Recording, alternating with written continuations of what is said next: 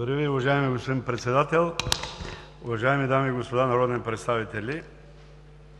От парламентарната група на Движението за права и свободи ще подкрепим предложения Законопроект. Отварям една скоба – между първо и второ четене си запазваме правото да направим предложения, които са правени през годините в различно време. Правени са предложения за 300 лв., правени са предложения за 500 лв. минимална пенсия. Изобщо през годините е имало някаква надпревара в това да се правят предложения за увеличаване на минималните доходи. Какво представлява всъщност пенсията? Определение за пенсията какво означава? Пенсията е отложено плащане. Пенсията е доход, който замества доходите от труд. Тоест, когато си работил, си имал възможността да внасяш осигурителни вноски и задължението, след това, когато настъпи осигурителното събитие, получаваш съответното обезщетение за това, че си внасял осигурителни вноски. Идеята на минималната пенсия е да гарантира минимален жизнен стандарт. За съжаление, с размерите, които има в момента в България минималната пенсия за стаж и възраст, това няма как да се случи. Затова в Конституцията на Република България има и друга възможност и тази възможност се нарича „социално подпомагане“. Втората защитна мрежа на държавата е така нареченото „социално подпомагане“. Това, което правим ние през всичките тези години на прехода, е през пенсионната система решаваме проблемите на социалната политика, което не е най-добрият подход. Пенсионната система я поставяме в тежко положение, системата я поставяме в условия на тежък финансов дефицит само защото се опитваме през нея да решим всички останали проблеми. Има социални услуги, има социално подпомагане, има различни форми на енергийно и друго подпомагане. Тези услуги трябва да бъдат насочени, за да може човекът с ниски доходи да покрие своите минимални потребности. В тази връзка нека да разделим пенсиите от социалното подпомагане. Колеги, това как може да стане? Ако искаме хората с минимални доходи от пенсии, тези, които имат единствен доход само от пенсии, може да бъде допълнен този доход, както и в други страни, с един специализиран фонд.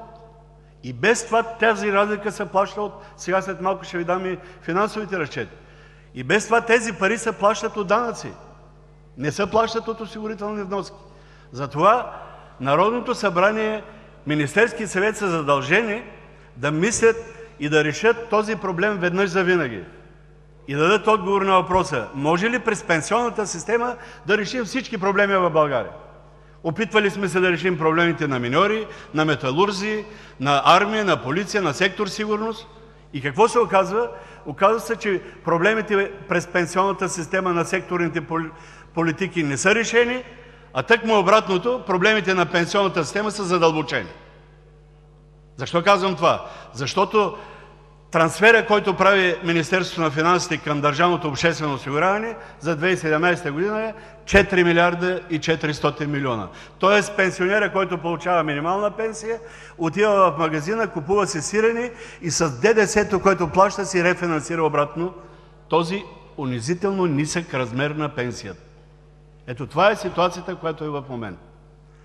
Затова искам да Ви кажа, че ние от парламентарната група на ДПС подкрепяме всякакви усилия за търсене на възможности, но тези възможности трябва да бъдат използвани по начин, по който да не увеличаваме дефицита. Вижте сега за какво става въпрос. Казват вносителите, че не се увеличавали разходите. Как да не се увеличават разходите, като 100 милиона е казано, че са повече разходите, отколкото предвидени в бюджета за 2017 г.? И казваме, че тези разходи ще бъдат покрити с преизпълнението на приходите. Уважаеми колеги, променяме бюджетен закон на базата на предположение, на базата на сегашната ситуация. Ами към края на годината, ако няма такова преизпълнение, тогава какво правим? Ами тези 100 милиона, за които говорим, че са повече – 104 милиона към края на месец май, казват от НАП, че са повече от осигурителни вноски, спомнете си, че 50 милиона от тях вече са изконсумирани за великденските надбавки. Тоест сумата, която остава сега, е 50 милиона. Ето една необвързаност в бюджетната процедура, която в момента изпълняваме. И още нещо. Вижте какво е казано в Закона за публичните финанси. Чета дословно чл. 19: „Разпоредбите на нормативни актове, които предвиждат увеличение на разходите, какъвто е случаят сега, намаляване на приходите и/или поемане на ангажименти за разходи, плащания, след като са приети годишни закони за държавния бюджет, за бюджета на ДОО и бюджета на Националната здравноосигурителна каса, не трябва да се предвижда да влизат в сила по-рано от изменението им или от влизането им в сила за следващата бюджетна година“. Нарушаваме ли Закона за публичните финанси, или не го нарушаваме? Всеки може да си отговори сам. Уважаеми колеги, към днешна дата минималният размер на пенсията всеки месец се дофинансира с пари от бюджета, с пари от данъци в размер на 19 милиона. На годишна база това прави 228 милиона, тоест минималният размер на сега получаваните пенсии всеки месец се дотира с по 19 милиона. Това, което предлагаме сега – всеки месец за увеличението, първата стъпка – 8 милиона и 800 хиляди, за втората стъпка – 14 милиона и 7.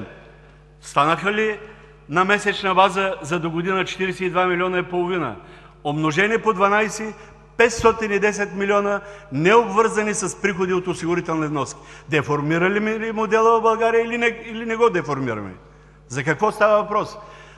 Народното събрание в момента пишем чек на министъра на финансите: „Господин Министър, съобрази се с решението на Народното събрание и предвиди 510 милиона за следващата година, необвързани с осигурителни вноски“.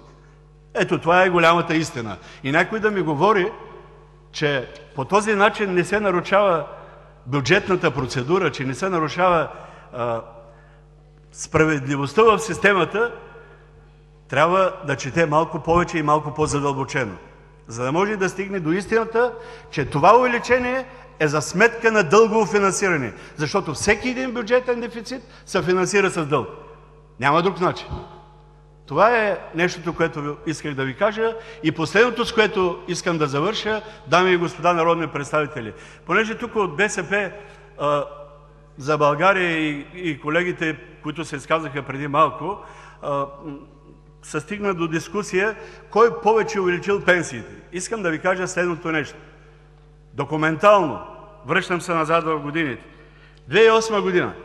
от 1 юли се въвежда за първи път швейцарското правило. От 1 октомври всички пенсии се преизчисляват с осигурителния доход за 2007 г. Това е увеличение с 22%.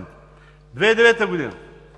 от 1 януари увеличаване на минималната пенсия за стаж и възраст – 10%.